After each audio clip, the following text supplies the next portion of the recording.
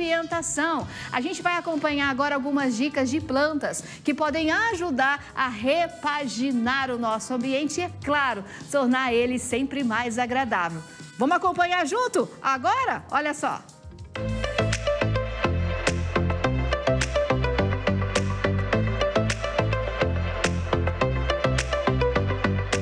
Oi Kelly, oi pessoal do Ver Mais. Hoje eu tô aqui para dar uma dica sobre paisagismo com o paisagista Munhoz.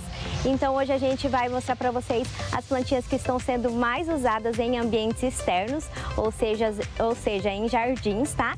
Então a gente começa aqui hoje com a planta Maranta charuto, uma planta um pouco mais alta, também para sol, ambiente externo.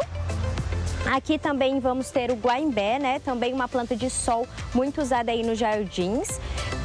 Eles acabam formando um jardim tropical, as duas plantas juntas, tá bom? Então aqui a gente montou, só para vocês terem uma ideia de como fica. São plantas muito usadas na beira de piscina, beira de muro também. Também existe no mercado hoje diversas opções. Também com flores, né? Para quem gosta mais de plantinha com flores. Tem aqui a Alpínia purpurata, dessa flor pink. Também existe em outras cores, no rosa claro, no vermelho. Também é uma opção de planta tropical, então para montar o seu jardim tropical também. Essa aqui também é outra opção, coisa mais linda, orelha de elefante gigante.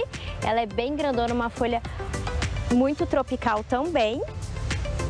E aqui temos o guaimbé, que já foi mostrado também. Uma planta mais tropical, que, é, que costuma compor muito bem os jardins.